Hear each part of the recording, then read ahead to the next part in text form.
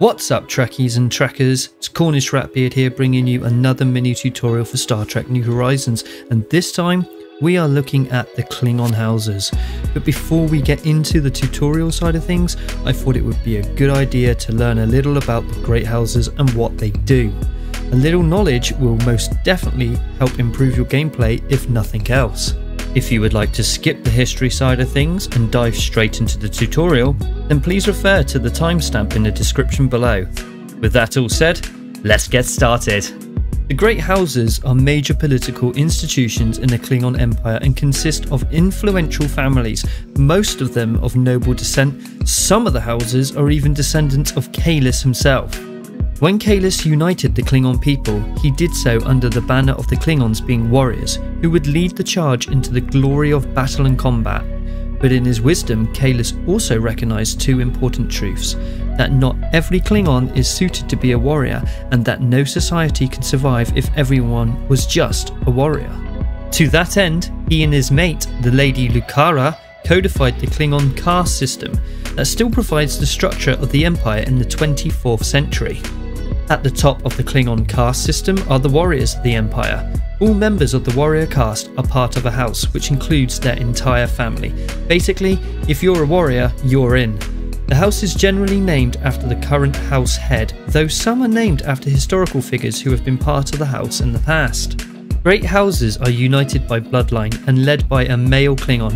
Upon the death of the head of the house and his heir, the mistress will take over control until a new male is found to take this position.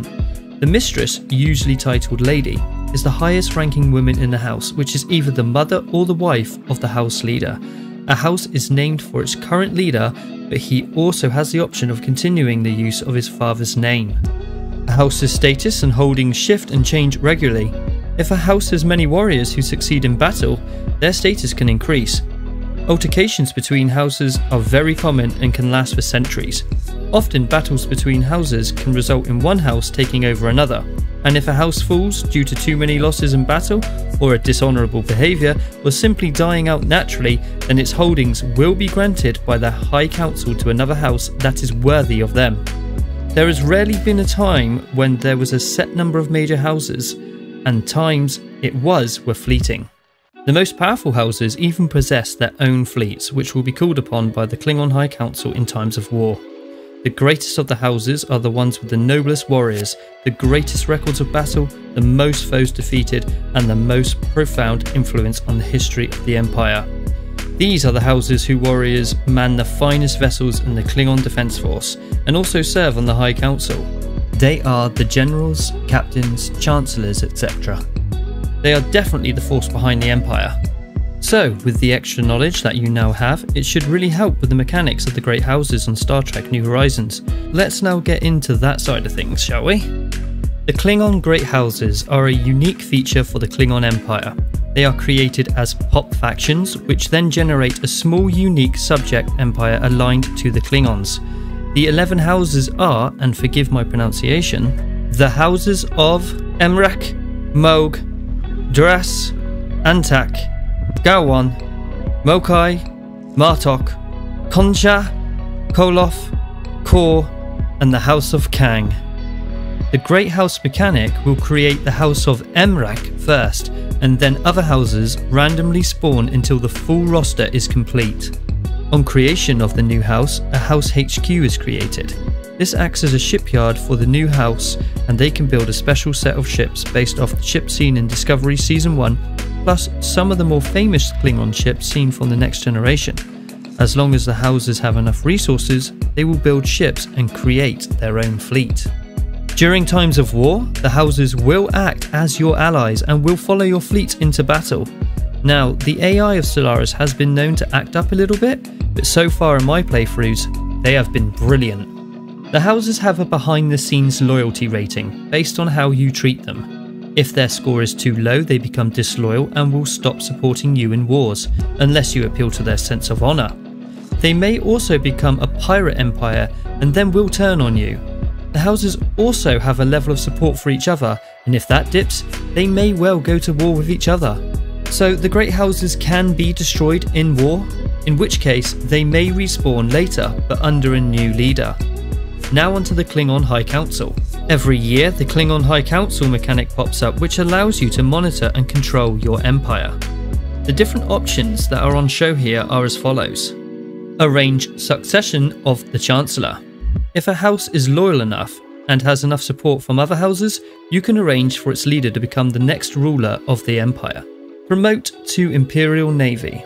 If the great houses have any available leaders, then you can claim them for your Klingon Defense Force Navy. Mediate a feud. If any houses are feuding, you can attempt to intervene and demand peace. Administer levies.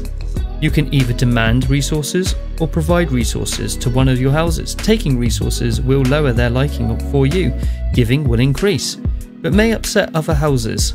Oh, yes, this is some real Game of Thrones stuff here, guys. Manage acquired house yards. When a great house is destroyed, their HQ reverts to the Empire, so if you like, you could disband it and claim the resources for yourself. So, if we take a look over here to the right side of the screen, we get an overlay on how the great houses see us, the player. They show us a percentage, and if that percentage is low or in the red, then you may want to approach the house and see what the problem is. So, we now want to talk directly to the house, and these are the options we get once communication has begun. Grant them lands.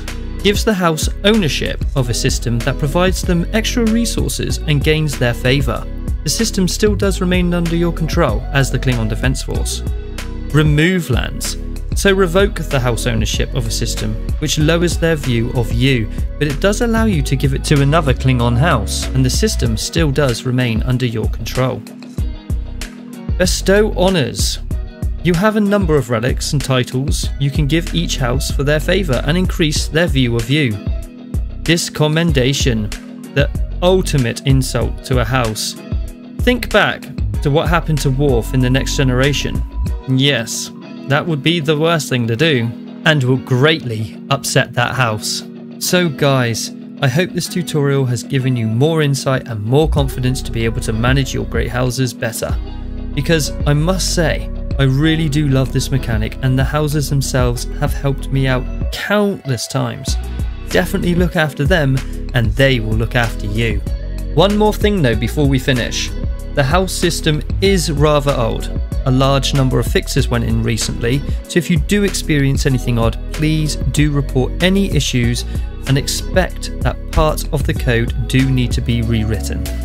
If you enjoyed that video and it helped you out, then please consider giving it a thumbs up for me. And if you're new to the channel and you like what you see, then please go ahead and smash that subscribe button for more updated Star Trek New Horizons content.